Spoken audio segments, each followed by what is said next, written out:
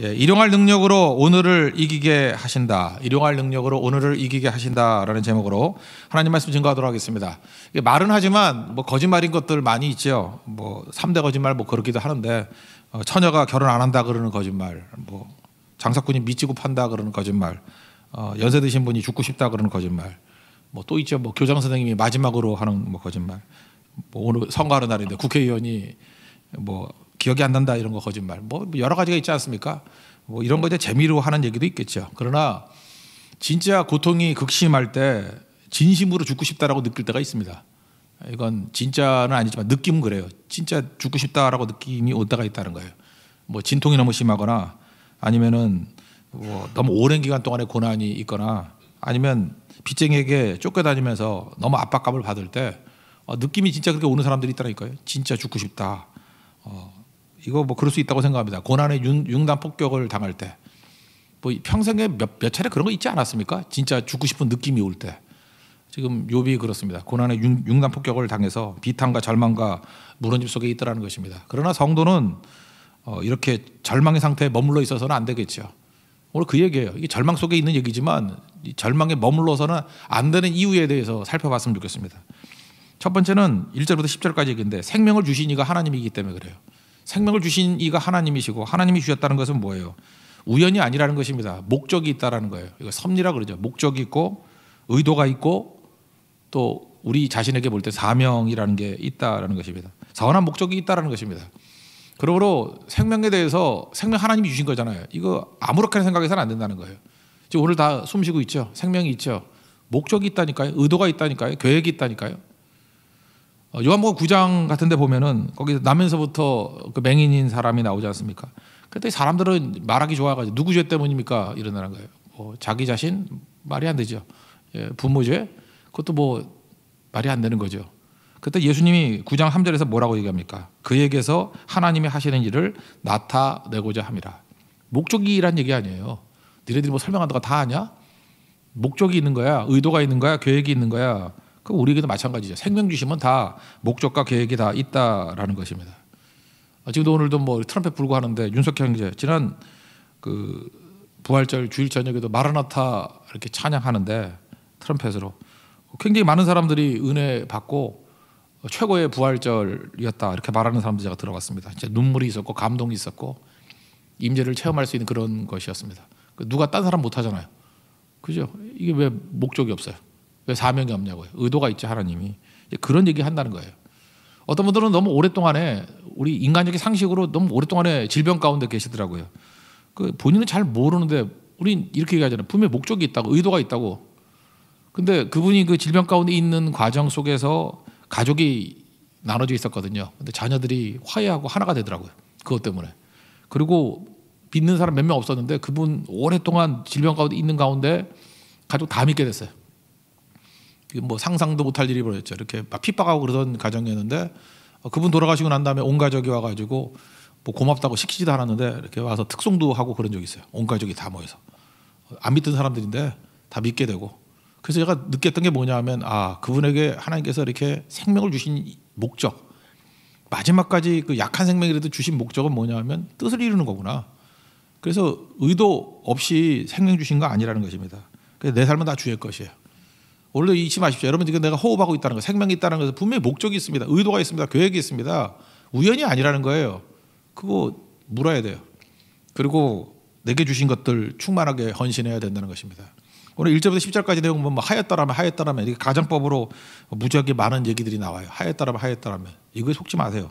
여기서 중요한 가정이 4절이거든요. 하나님이 위에서 돌아보신다 이게 있죠. 하나님이 위에서 돌아보신다.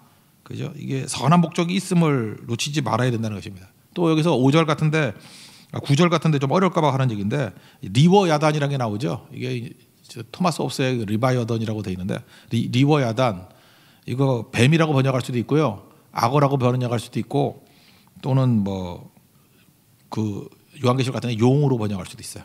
리워야단. 이게 뭐냐면은 그 뭐 인도나 이런 데서 많이 볼 건데 이게 뭐 피리 같은 거 불면은 이게 뱀 같은 게 막 와서 춤추고 그잖아요. 모르십니까? 그게 일종의 저주하는 의미래요. 그러니까 이렇게 저주하는 마술사가 디워야다를 통해서 저주하는 거예요. 그러니까 그러면 이제 이해되시죠? 뭐 중요한 메시지도 아니니까. 한번 읽어보겠습니다. 뭐라고 하든 간에 하나님이 우리에게 생명 주신다. 그게 핵심이에요. 1절부터 다 읽어봅시다. 10절까지 한번 읽겠습니다. 시작. 그 후에 욥이 입을 열어 자기의 생명을 저주하니라. 어, 욥이 입을 열어 이르되 내가 난 날이 멸망하였더라면 산의 아이를 베었다 하던 그 밤도 그러했더라면 그날이 캄팡하였더라면 하나님이 위에서 돌아보지 않으셨더라면 빛도 그날을 비추지 않았더라면 어둠과 죽음의 그늘이 그날을 자기의 것이라 주장하였더라면 구름이 그 위에 덮였더라면 흑암이 그날을 덮었더라면 그 밤이 캄캄한 어둠에 잡혔더라면 날의 해의 날수와 달의 수에 들지 않았더라면 그 밤에 자식을 베지 못하였더라면 그 밤에 즐거운 소리가 나지 않았더라면 나를 저주하는 자들 곧 리워야단을 격동시키기에 익숙한 자들이 그 밤을 저주하였더라면 그 밤에 새벽별들이 어두웠더라면 그 밤이 광명을 바랄지라도 얻지 못하며 동틈을 보지 못하였더라면 좋았을 것을 이는 내 모태의 문을 닫지 아니하여 내 눈으로 환란을 보게 하였음이로다. 그러니까 힘들 때 붙들어야 될 게 뭐냐 하면은 여기서 뭐 구구한 뭐 지저분한 소리 하고 있는데 문제는 뭐냐 하면 지금 살아있는 것이 하나님이 생명 주셨기 때문이라는 거예요. 그거 하나 놓치지 말라고요. 뭐 하였다라면 하였다라면 이따위 소리 하지 말고 생명 주신 게 하나님이라는 것입니다. 욥도 그걸 알고 있어요. 그러면서도 딴 소리 하고 있어. 참 웃기는 짜장면이에요. 그죠? 지금 살아있는 것이 하나님의 목적이라는 거예요. 생명 주신 것에는 목적이 있다. 그러므로 생명 하나님 주셨다. 목적이 있다. 그거 놓치지 않으면 정신 잃지 않는다는 거예요. 아무리 어려워도 생명 하나님 주신 거다. 그리고 이렇게 힘든 상황 속에서 내가 살아있는 것은 목적이 있다. 이거 붙들라는 거예요. 그게 10절까지의 내용입니다. 그 다음에 이제 11절부터 19절까지 또 더더더 황당한 얘기가 나오는데 죽음에 대한 환상을 버리라는 거예요. 너무너무 힘들면요. 죽으면 쉰다. 뭐 죽으면 끝이다. 이런 환상을 갖는다는 거예요. 이거 마귀가 준다는 거예요. 죽으면 끝은 무슨 끝이에요? 죽으면 시작이죠. 그러니까 여기서 또 어찌하여요. 뭐 앞에서는 덜하면 덜하면 이거 보면서 느끼는 게 뭐냐면 욥은 어, 고난 속에 있으면서도 참 문학적으로 글을 잘 썼다 생각이 들었어요. 저 같은 경우에 그냥 그 투정일 하고 말 것 같은데 뭐 그렇게 운율까지 맞춰가지고 이거 굉장히 수준 높으시거든요. 시 쓰고 앉았네 그런 거죠, 그죠? 예. 여기서는 또 어찌하여 어찌하여 어찌하면서 운율이 딱 라임이 딱딱 맞아요. 예. 그러니까 이런 거 하지 말고 환상에 빠지지 말고 죽음은 끝이 아니라는 거예요. 오히려 죽음이 시작이 될 수 있다라는 것입니다. 그러니까 너무너무 힘들면 우리도 그럴 때가 있죠.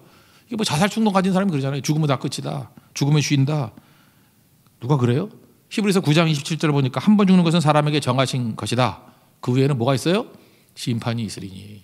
누가 죽음이 끝이래요? 그런 말 하지 말라는 거죠. 그래서 어, 죽음에 대한 환상을 가지고 있으면 안 된다는 거예요. 죽음에 대한 환상을 버려야 된다. 옛날에 그 뭐 젊은 베르트레이의 뭐 슬픔인가 뭐 그런 거 읽고 제 때보다도 저보다 좀 아, 앞에 계신 분들 그 소설 읽고 죽는 사람 많았어요. 소설 읽고 별 사람 다 있죠, 그죠? 그러니까 왜냐하면 죽음을 낭만적으로 묘사했기 때문에 죽음은 절대 낭만 아니라는 것입니다. 옛날에 그 어떤 노인이었는데 할머니예요, 할머니. 이분이 너무너무 힘드니까 약 먹고 자살했어요, 약 먹고 자살하는데 어, 그 다음에 이분이 이게 먹다가 이게 고기 죽는 게 아니라는 걸 알았어요. 막 창자가 뒤틀리고 막 이래가지고 죽을 것 같아서 아, 죽으라고 먹었는데 죽을 것 같았대. 당연한 것이 죽, 죽으라 먹었으니까 그래서 토했어요. 토해가지고 뭐 이렇게 데려가가지고 뭐 세척도 하고 그래서 살아났는데 아, 그분이 그 얘기 하더라고요. 그 이게 죽는 게 편안한 게 아니고 그 엄청난 거라고 어, 공포도 엄청나고 어, 그래서 그분들 그분 자살 시도하고 난 다음에 그 할머니 돌아가실 때까지 계속 간, 간증하고 다니는 게 뭐냐면은 자살하면 안 돼, 자살하면 안 돼 그거였어요. 내가 해봤더니 어 그거 그렇게 하는 거 아니라고. 어 그 죽음에 대해서 환상 가지면 절대로 안 된다라는 것입니다. 뭐 높은 데 뛰어내려가지고 뭐 물에 뛰어난다 장파일돼요. 저는 뭐 자살은 아니었지만 제가 옛날에 스타프장이라고 정릉에 그 수영장에 있었는데 수, 영도 잘 못하면서 5m 올라갔어요. 내려오고 싶었어요. 너무 높아가지고 이렇게 물이 있는데 고기를 안 떨어질 것 같아. 올라가니까 조금해 보여. 시멘트에 떨어질 것 같아. 아, 아, 그 되게 넓은 데인데 그래서 저기 어떻게 들어가나. 그래 그렇게 작아 보여요. 근데 뭐 어떻게 해서 떨어졌죠. 떨어졌는데 하여튼 두 가지 낭패였어요. 첫째는 아파 죽는 줄 알았어요. 배치기를 해가지고 장파일 되는 줄 알았어요. 배 터지는 줄 알고. 또 하나는 수영복 없어져가지고 그 차느라고 끈을 묶어야 되는데 하여튼 그때 아픈 경험이 많이 있는데 그때 하여튼 느꼈던 게 뭐냐면 야 이거 5m 높이에서도 이 정도니 그 웬만한 다리에서 떨어지면 그 그냥 가는 거예요. 그거 쉬운 게 아니라고요. 그러니까 이런 거 하지 말고 여러분들 하나님 앞에 기도하십시오. 아무리 힘들고 어렵다 할지라도 그 죽음에 대한 환상 갖지 말고 어떻게 죽어야 돼요? 난 우리 교회 성도들 다 그렇게 죽었습니다. 저절로 죽게 해주십시오. 저절로. 늙어서 죽는 것도 좋지만 저절로 죽는 게 제일 좋아요. 우리 다 같이 한번 꿈을 꿨으면 좋겠어요. 저는 이렇게 죽는 게 좋다고 생각하는데 아론의 죽음하고 모세의 죽음이 제일 좋은 것 같아. 아론도 산에서 죽었고요. 모세도 산에서 죽었어요. 나 그게 왜 좋냐 하면은 이 죽기 전에 얼마나 건강하면 산꼭대기에 올라갔어? 등산이 가능한 죽음. 그죠? 이게 그 아론은요. 민수기 20장 25절 보니까 호르산이라고. 너는 아론과 그의 아들 엘르아사를 데리고 호르산에 오르라. 아론의 옷을 벗겨 그의 아들 엘르아사에게 입히라. 아론은 거기서 죽어 그 조상에게 돌아가리라. 그러면서 아론 그 아들이 엘르아살인데 엘르아살 모세 다 같이 올라가 가지고 그러니까 죽을 줄 알았어요. 이렇게 올라가는데 죽기 전에 등산까지 할 정도예요. 그러니까 건강하신 분이죠. 아론. 거기서 자기 옷을 어, 아들에게 입혀서 대제사장에 이제 뭐래 지금 바톤 터치하고 그리고 거기서 죽었다고요. 어, 멋지지 않아요? 여러분도 등산에서 산에서 죽는 은혜가 임하길 원합니다. 그죠? 그 되게 좋은 거 아니야. 근데 그 동생인 모세도 그랬다고. 느보산에서 신명기 34장 보니까 느보산에서 그 다 보고 난 다음에 그죠? 거기서 죽었어요. 근데 죽을 때도 비참해 가지고 뭐 기력이 없어 죽는 게 아니라 신명기 34장 7절 보니까 모세가 죽을 때 120세였는데 눈이 흐리지 않냐고 기력이 쇠하지 않았다. 싱싱하게 죽었대요. 이게 좋은 죽음 아니에요? 우리 같아도 그런 거죠. 그냥 누워서 죽지 말고 예배 드리다가 죽고요. 그 다음에 뭐 성교 가 가지고 성교 가서 죽으면 우리가 참 힘들어져요. 그죠? 뒤처리가 힘들어지니까 성교 갔다가 돌아오셔서 그 다음 날 돌아가시고 이게 참 좋은 것 같아요. 그죠? 기도하라고 기도 성교 끝나고 죽게 해주세요. 그죠? 산에서 죽게 해주세요. 예배 끝나고 죽게 해주세요. 또 예배 중에 돌아가셔도 힘들어요. 그죠? 이게 또 중간에 이게 힘들어지고 또 장례하기도 힘들고 하니까 하여튼 계속 기도하고 있습니다. 여러분들 그런 기도를 가지고 절대로 죽음에 대한 환상 이런 거 갖지 말라고요. 저절로 죽게 해주세요. 늙어 죽게 해주세요. 사명 이루다가 죽게 해주세요. 이게 아론의 죽음이고 모세의 죽음이잖아요. 그죠? 그러니까 쓸데없이 뭐 스스로 내 목숨을 내가 결정하겠다. 이따위 소리 가면 안 된다라는 것입니다. 11절부터 19절까지 한번 보겠습니다. 시작.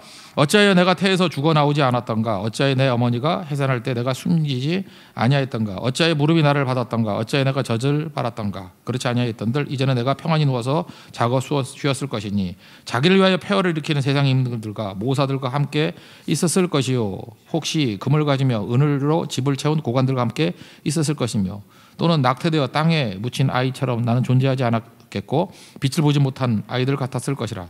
거기서는 악한 자가 소요를 그치며 거기서는 피곤한 자가 쉼을 얻으며 거기서는 갇힌 자가 다 함께 평안이 있어 감독자의 호통 소리를 듣지 아니하며 거기서는 작은 자와 큰 자가 함께 있고 종이 상전에게서 놓이느니라. 꿈 깨 이거죠. 무슨 이게 뭐, 뭐 하는 소리야 지금. 그러니까 갑자기 마음이 약해지니까 죽으면 뭐 아무것도 없는 것 같고 뭐 그런 것 같다라는 거예요. 아니라는 거죠? 심판이 있어 심판이. 하나님이 우리에게 사명 주실 때까지 다 하고 저절로 죽는 게 제일 좋아요. 그리고 늙어서 죽는 게 제일 좋고 사명 끝나고 죽는 게 제일 좋다고. 그러니까 어, 이런 엉터리 같은 소리 하지 말고 여기서 내 사명이 무엇인가 알고 그죠? 죽음을 죽음에 대한 환상이 아니라 삶에 대한 비전 가지고 살아갈 수 있는 믿음의 정대기를 축원합니다.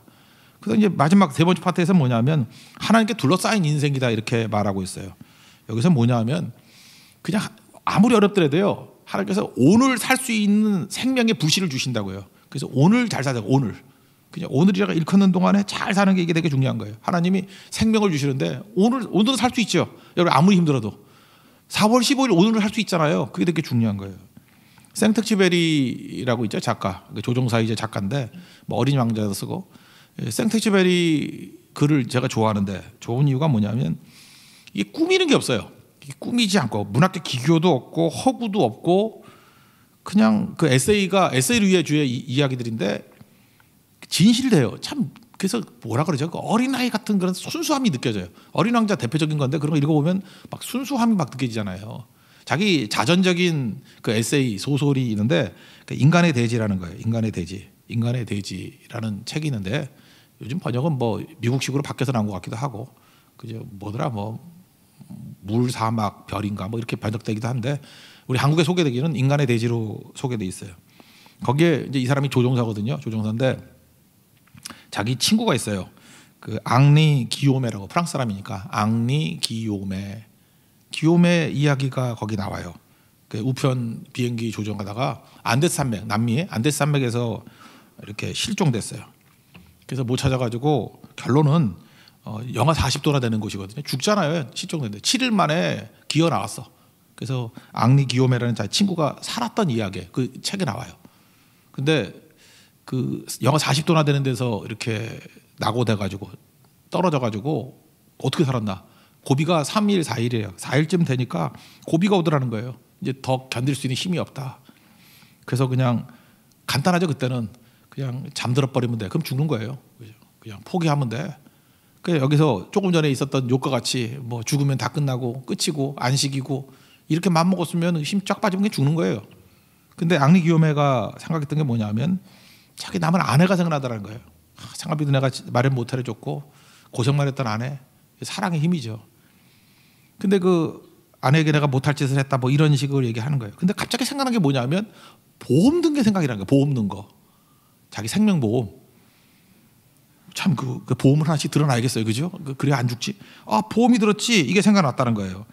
근데 문제는 뭐냐면 자기가 보험 약관을 아는데 실종 처리가 되면은 이 보험금 타기가 힘들어진대요. 실종 처리가 되면 그 사람 찾, 찾을 때까지.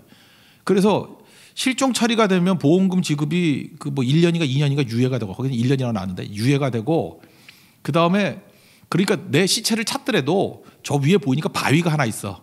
여기 눈이 많아가지고 눈이 덮여가지고 시체를 못 찾을 것 같더라는 거예요. 그래서 내가 죽더라도 저 바위 위에서 죽어야지. 그래야 반짝반짝 빛나니까 나 금방 찾을 거야. 그래서 죽을 힘을 다해가지고 바위까지 올라갔대요. 그러다가 힘을 얻어서 계속 기어 내려온 거예요. 거기까지. 그 얘기예요. 그러니까 우리가 죽을라 그럴 때 중요한 게 뭔지 알아요?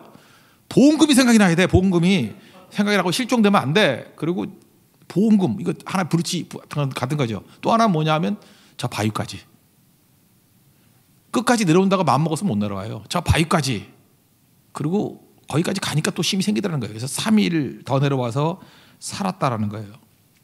우리 불도 그렇잖아요. 불씨라 그러죠. 조그만 불씨 하나 그거 남겨두면 그게 번지고 번지고 해서 다 살아오르죠.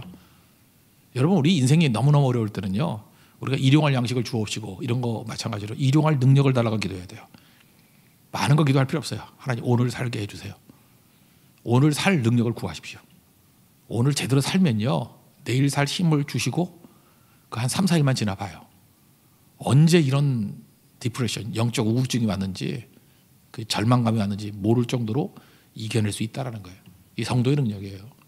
그리고 마지막에 얘기하는 게 그거예요. 하나님께서 나를 이렇게 둘러싸이 생명이 있다라는 거예요. 그래서 오늘 이길 수 있는 힘을 얻으면 능일 수 있다는 거죠. 그러니까 오늘 버틸 힘을 주십시오. 하박국서 2장 4절에 보니까 믿음이 뭐라 그랬어요? 의인은 그의 믿음으로 말미암아 살리라. 거기서 믿음이 에문한데 다른 성경에서는요 구약적인 개념만 놓고 볼 때 믿음은 에문아 믿음이라고 번역할 수도 있고 견딤이라고 번역할 수 있어요. 믿음은 뭐예요? 견디는 거, 견디는 거. 딱 맞죠? 이게 앙리 기요메. 저 바위까지 올라갈 수 있도록 견디게 해주세요. 그 믿음이었어요. 견뎠어요. 그랬더니 그 믿음이 믿음에서 믿음으로 간다 그러죠. 믿음이 믿음을 낳아서 내려올 수 있는 힘. 그리고 가정이 다시 되살아나는 힘 얻게 되더라는 거예요. 우리 이겁니다. 음, 하나님 죽지 못하게 우리에게 일용할 능력을 주시는 하나님을 믿습니다. 그 일용할 능력 가지고 일어서게 해 주십시오. 그럼 능히 승리할 수 있다는 것입니다. 오늘 그게 필요하다는 거예요. 20절부터 26절까지 읽겠습니다. 시작.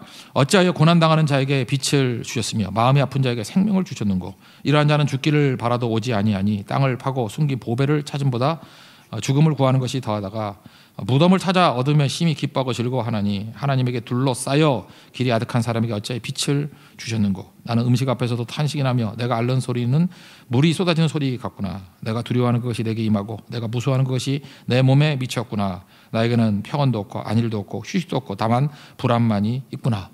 어렵지만 뭘 줬어요? 빛을 주셨대요. 어렵지만 생명을 주셨대요. 어렵지만 하나님께 둘러싸인 인생이래요. 이게 뭐예요? 굉장히 작은 거지만 일용할 능력이에요 작은 능력, 저 바위까지 올라갈 능력, 앙리 기욤에게 줬던 그 능력, 그거 얘기하고 있잖아요. 그럼 일어서게 된다는 것입니다. 오늘 내용이 절망 가운데 우리도 빠질 때가 있지 않습니까? 뭐 믿음의 사람이라고 지속되는 어려움 가운데 이렇게 눌려 있지 않을 사람이 누가 있어요? 전제가 있다는 거예요. 생명 하나님 주신 거다. 그거 붙들어야 돼요. 이거는 머리로 생각하는 거예요. 그죠? 환경 갖고는 느끼지 못해요. 생명 하나님 주시는데 지금 내가 생명이 있구나. 이거 하나님 주신 거야. 그런 목적도 있지. 이거 붙들라는 거예요. 그리고 또 반대로 절대로 어, 죽음에 대한 환상 가지면 안 된다는 거예요. 죽음은 끝이 아니에요. 그다음 더한 심판이 있다고요. 죽음이 끝이 아니라고요. 그죠? 그러므로 어, 하나님, 내가 이 이 죽음에 대한 환상이 아니야. 이걸 통해서 다시금 생명의 불꽃이 타오르길 바랍니다. 그걸 붙들어야 된다. 일용할 양식, 일용할 양식 구하듯이 일용할 능력을 구하십시오. 버티십시오. 그럼 하나님께서 그 다음에 이길 수 있는 힘도 주신다는 것입니다. 내 인생이 내게 아니에요. 주님이 주신 겁니다. 어, What gave me 하나님 내게 주신 거 붙들고 충성하게 살 수 있는 다시금 어떤 난가가 어려움도 이길 수 있는 권능의 종되기를 축원합니다. 자리에서 나가겠습니다. 내 삶은 주의 것 찬양하겠습니다.